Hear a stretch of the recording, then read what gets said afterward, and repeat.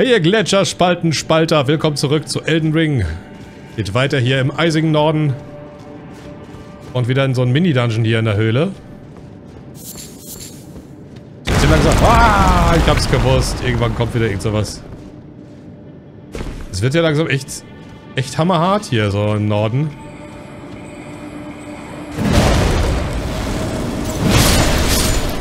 Ich dachte es mir schon. Geisterrufer Snegge.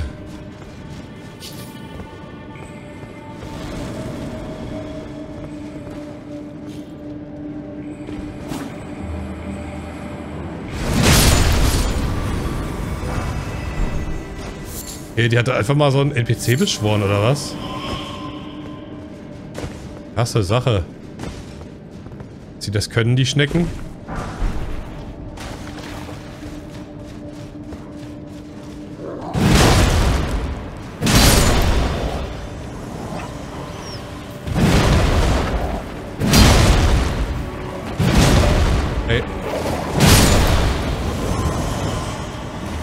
Auch wieder der beschworener Mist hier, ne?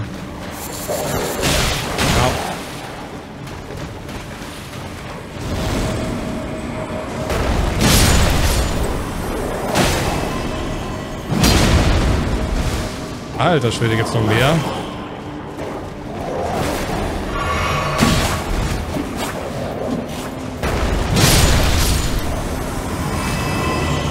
Boah, das war aber eine ganze Menge beschworener Viecher.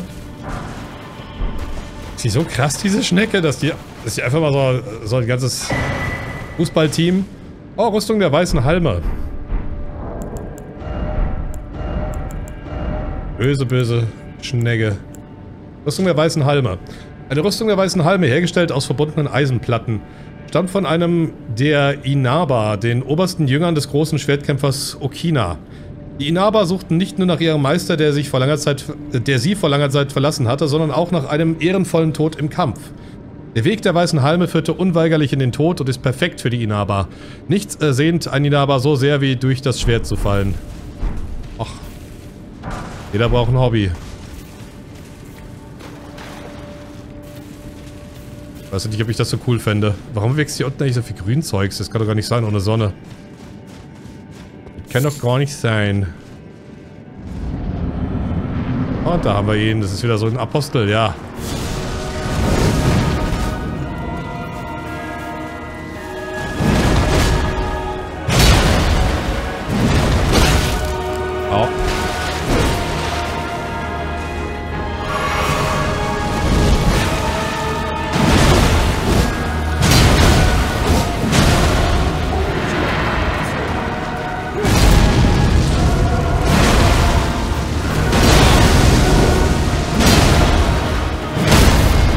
Endlich ist er mal gestaggert, du Schwein. Jetzt stirb.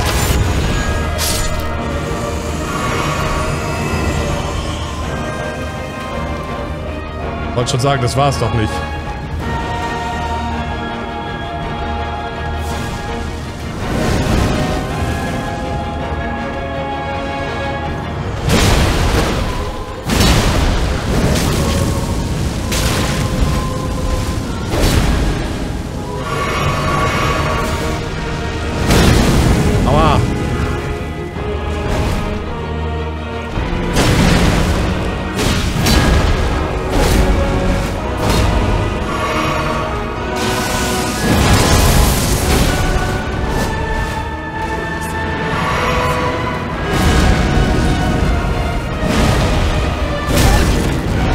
Shit.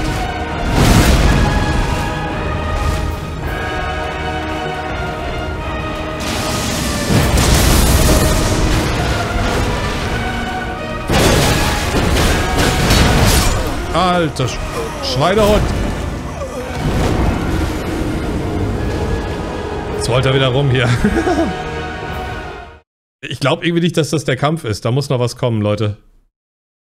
Ah, ich stelle mich auch wieder an hier, ne? Ich habe wieder jetzt echt mal wieder lange nicht gespielt. Was?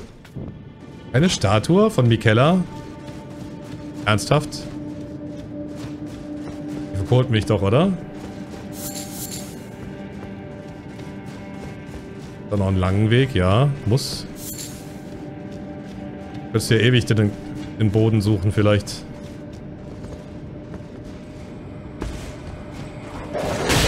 Ey.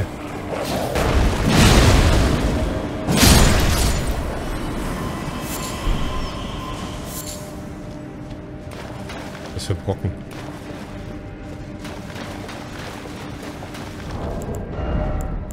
Ja komm, verschwende ich nochmal so einen. Flop.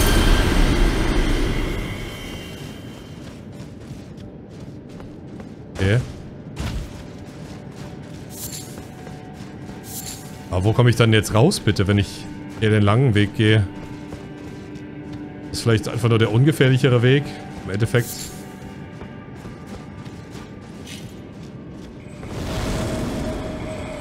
Ah, nee. Hat mal genau derselbe Weg irgendwie.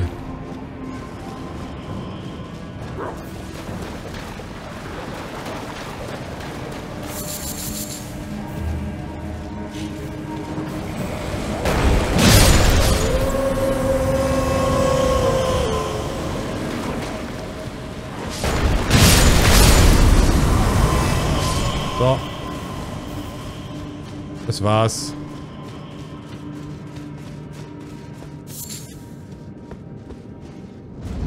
Wie gesagt, trotzdem komisch, dass hier keine Statue rumsteht. Einfach so.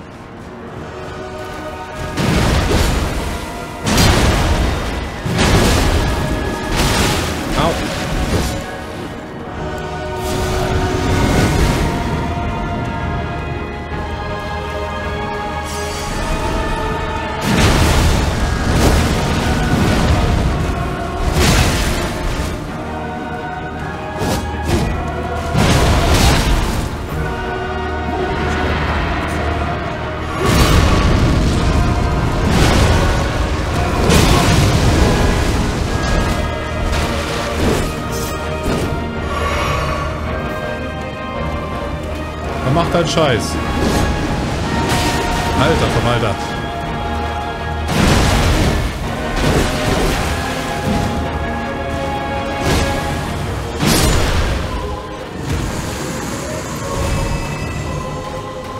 Das ist so eine schöne Musik hier.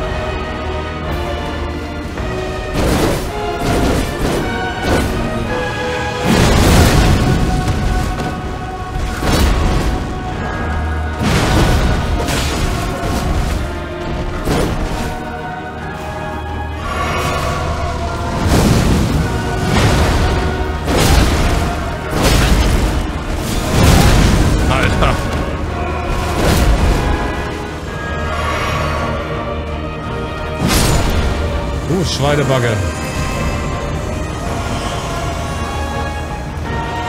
Natürlich ist er nicht vorbei, ne?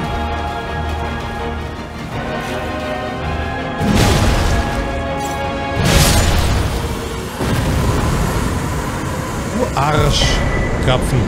Tuch der Götterskalpe und Ritual der schwarzen Flamme. 70.000. Oha. Warte mal. Ritual der schwarzen Flamme. Eine überragende schwarze Flammenanrufung von den Aposteln der Götterskalpe beschwört einen Kreis aus schwarzen Flammensäulen um den Zaubernden herum. Durch Aufladen erhöhte die Größe des Kreises. Die finsteräugige Königin führte die Apostel an und war angeblich eine von den Fingern auserwählte himmlische. Achso, warte, und... Und das Tuch. Hier. Da. Äh. Heiliges Tuch von den Aposteln der Götterskalpe besteht aus weicher zusammengenähter Haut. Angriffsserien regenerieren LP. Die finsteräugige Königin wiegt neugeborene Apostel in diesem Tuch. Bald werden sie vom Tod der Götter heranwachsen. Ach.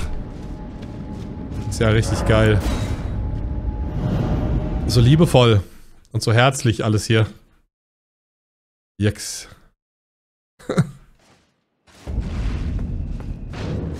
Waren die gerade agro, die Quallen? Finde ich aber nicht cool.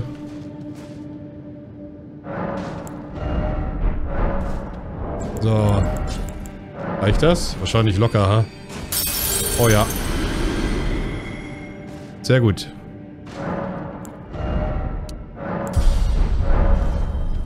Bin schon so mächtig. Vom Level her bin ich schon so weit einfach. Man kriegt trotzdem noch Fett auf die Hucke hier. Immer wieder. Alter Schwede, man sieht halt nichts. Muss eh wieder raufkommen. Ja. Was? Boreal ist der eisige Nebel. Oh, es ist ein Drache.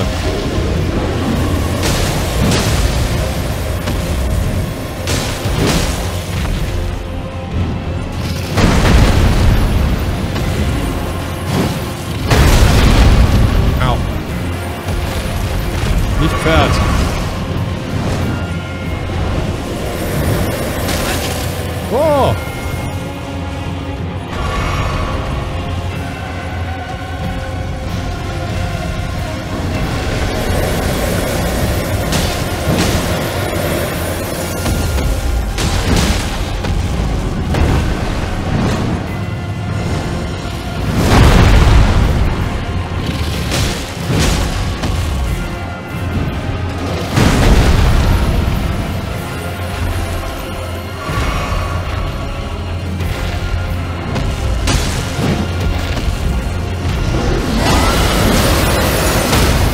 Alter, was?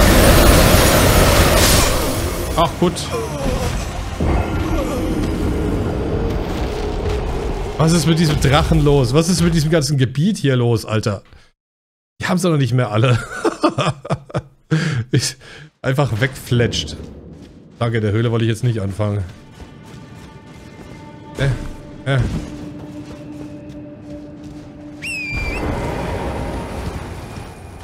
Ihr seid so krank, Spiel.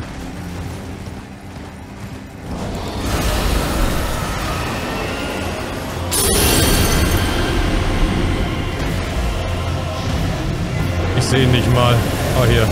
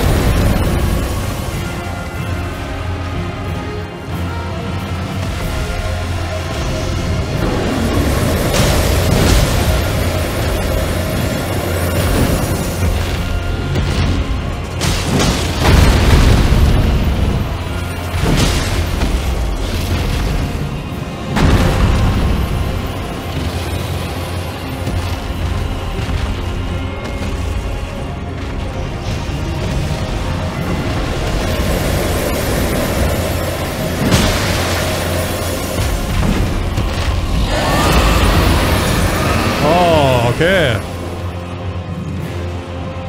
Gut gebrüllt, Tiger.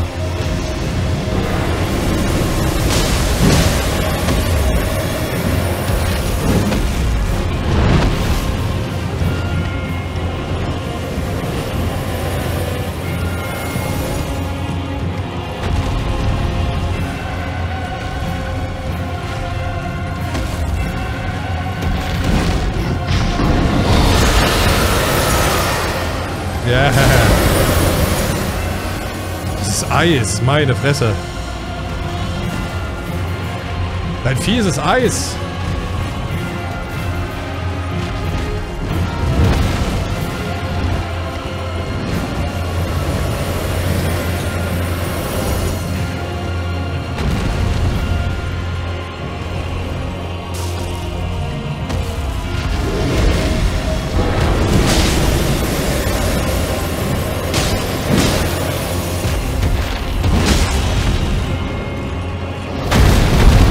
Langsam.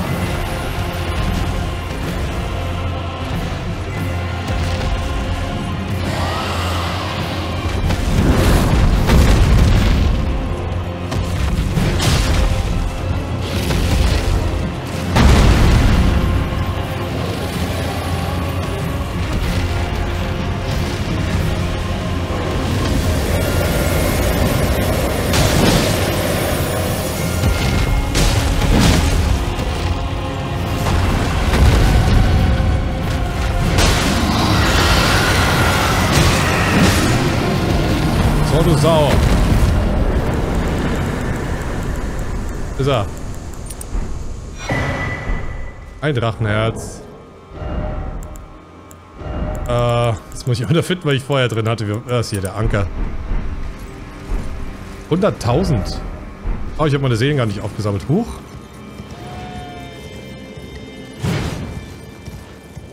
Hoppala, hoch. Da sind sie. Borealis. Aurora Borealis.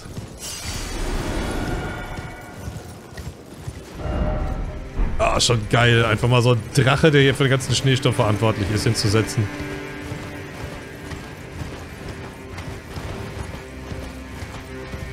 So. Oh.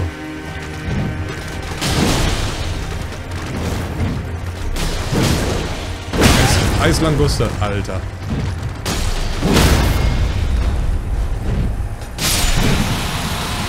Einfach mal so random wieder so ein Vier hingesetzt. Gefühlt. Das wirkt jetzt irgendwie nicht so ausgeklügelt auf mich, aber gut. Ähm, so. Ah, komm mal, mal alle. Ich hoffe, dass ich immer noch das Rezept kriege für die... Diese Eisrohra da, für die eisigen Rosinchen.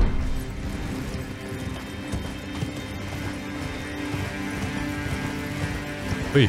Aber ich gehe erstmal hier lang, bevor ich da weitergehe. Erstmal hier gucken, weil ich sehe da schon wieder ein Item blitzen da vorne. Über die kleinen Quallen hier, aber die sind alle so friedlich. Ist das eine Kirche? Erste Kirche von Marika. Die erste. Oh! Die Purpurtränen plus 11 habe ich jetzt einfach mal. Das ist voll crank. Aber ich meine, mittlerweile brauche ich auch echt fast... Fast... Aschte. Brauche halt echt schon fast zwei Flaschen. Viel braucht... 122, okay.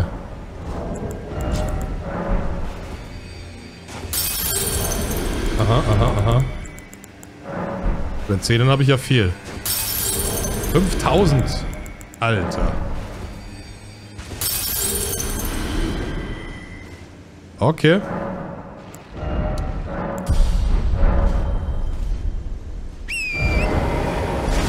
Echt krank.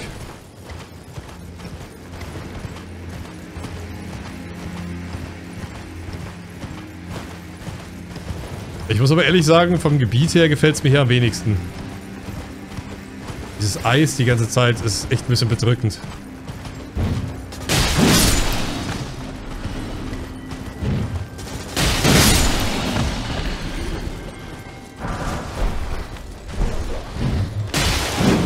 Oh. Komm.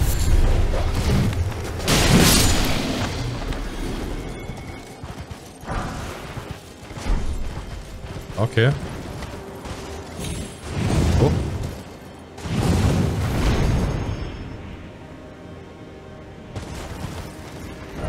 Oh, hier ist noch ein Gefängnis.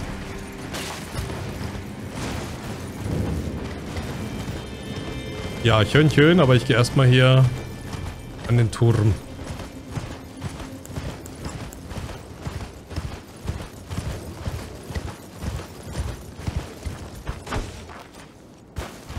Ja. Oh, ich treffe ihn.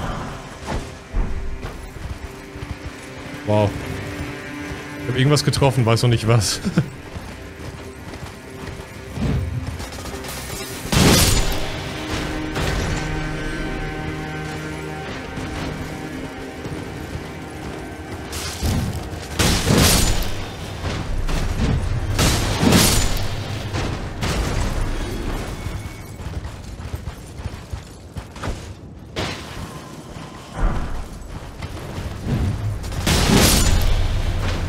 tot.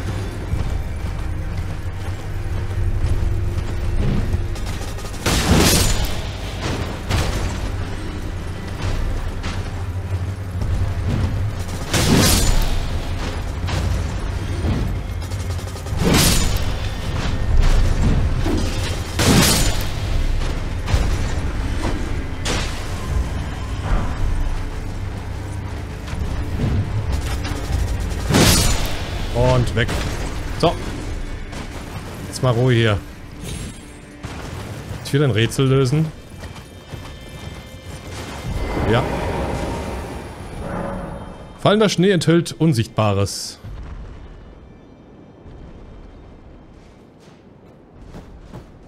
Okay.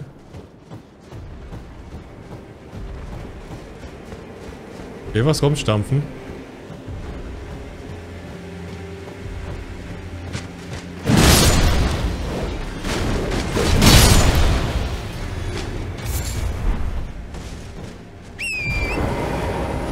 So, was? Fallender Schnee enthält Unsichtbares.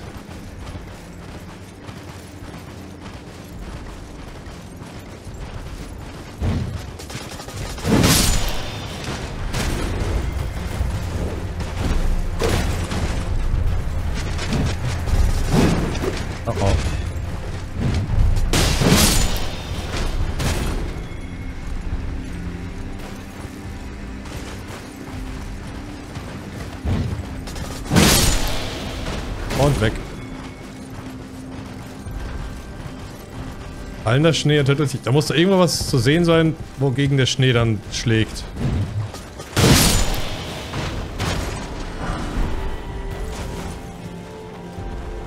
Was ist denn da unten?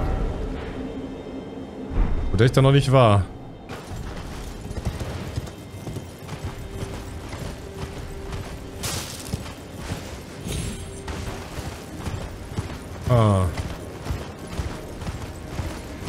Geht mein Bestes, aber ich sehe nichts, wo der Schnee gegenschlägt.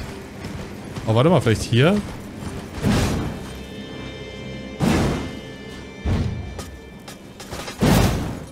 Nee. Ist ja auch Eis.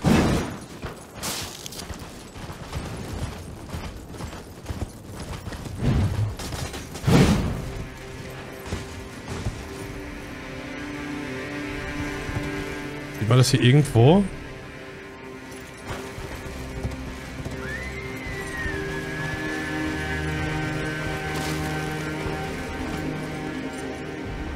Schau gerade, aber hier ist nichts, wo der Schnee gegenfällt. Wow, Leute, ich hab's, ich hab's mir fast gedacht. Guck mal hier, die Brücke, die ist nicht kaputt. Man sieht sie nur nicht.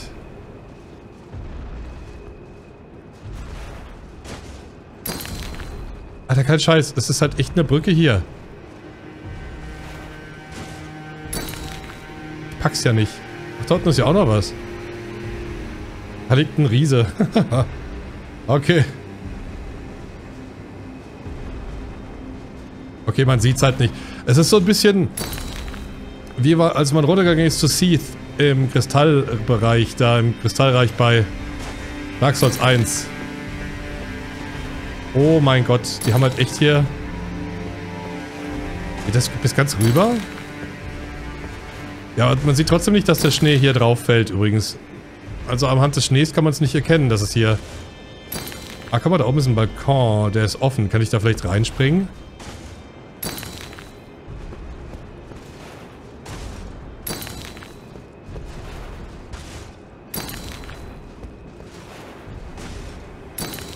Krasse Sache.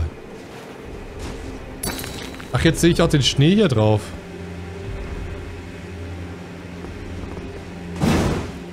Okay, keine geheime Wand.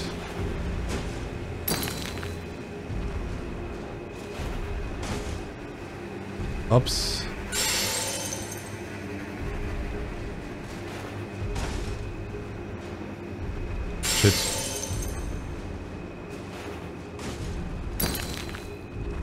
Okay, geht's hier vielleicht weiter? Nee.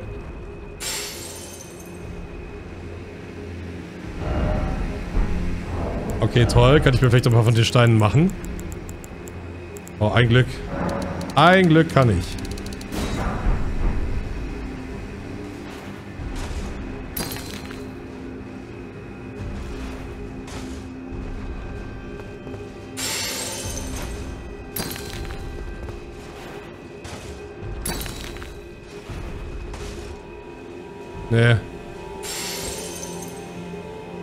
Ist ja geil.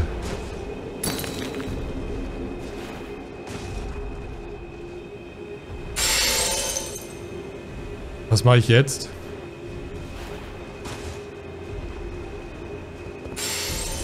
Scheiße.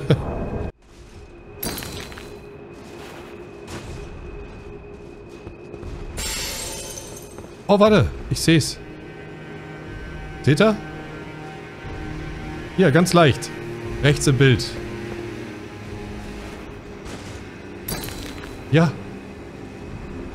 Ich glaube, ich habe den Weg gefunden, Leute. Oh, man sieht ihn ganz... Oh Mann, ist es... Aber echt sehr, sehr, sehr... Shady, der Hinweis hier. Oh mein Gott, ist das... Fies. Ah. Oh, ich hab's geschafft. Ketzerischer Turm. Das Siegel des Turms ist aufgehoben. Ja!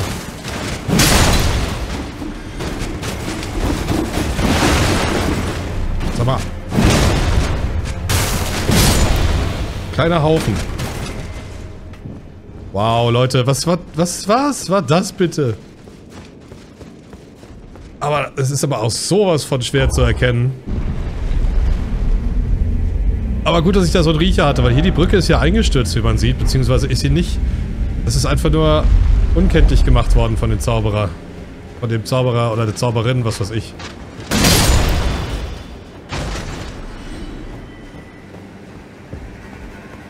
Und wahrscheinlich gibt es hier nur einen Speicher. Oh ne, was Gelbes. Ursternregen. Oh, der Urstregen. Urst der Typ. Ja, erzeugt eine Zeit lang einen Sternenregen. Diese älteste aller Urstein oder Urzaubereien stammt angeblich von einem Astrologen der Antike. Einer wahren Legende unter den Zaubernden. Er schafft eine dunkle Sternenwolke über dem Zaubernde, äh, Zaubernden, aus dem sich kurz darauf ein gewaltiger Wolkenbruch ergießt. Diese Zauberei kann in Bewegung gewirkt werden und lässt sich durch Aufladen noch verstärken. Angeblich ist dies der Zauber, aus dem die Schimmerstein-Zauberei entstand. Durch einen flüchtigen Blick des Astrologen auf die Urströmung nahm die Macht Gestalt an und der Bernstein der Sterne prasselte auf dieses Land. Gut, das weiß ich auch nicht mehr, aber... Interesting.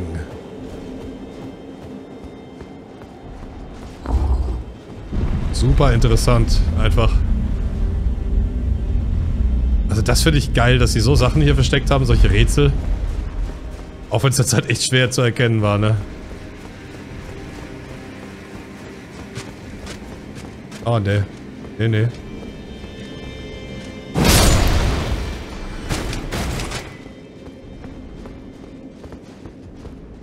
Ich verstehe den Witz mit den Puppen immer noch nicht so ganz. Warum die hier überall sind. Immer geradeaus. Dann kommen wir erstmal zu dem Kerker noch. Upsi. Entschuldigung.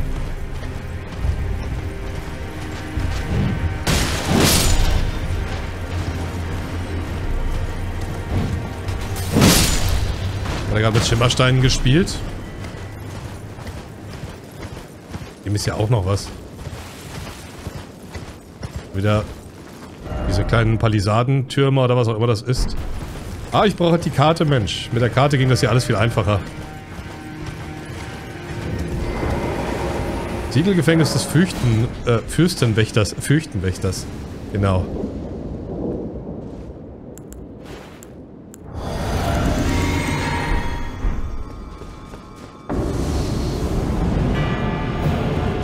Oh, Ritter, Wein? Tafelrundfeste.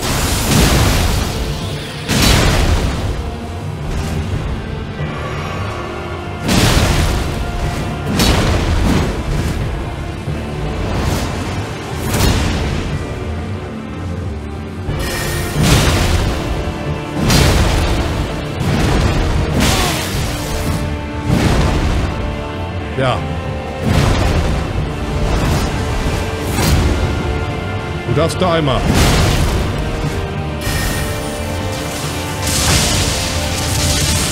Alter.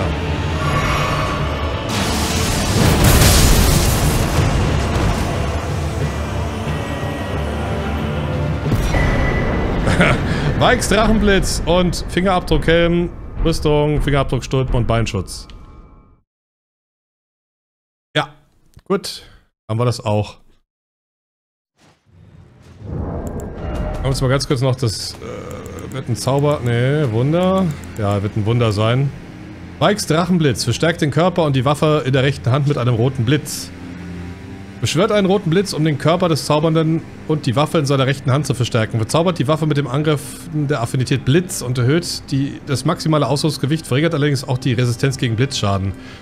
Von allen Rittern war Weik der Drachenspeer derjenige, der Lanciax am meisten liebte. Was? Verliebt in einen Drachen, oder was?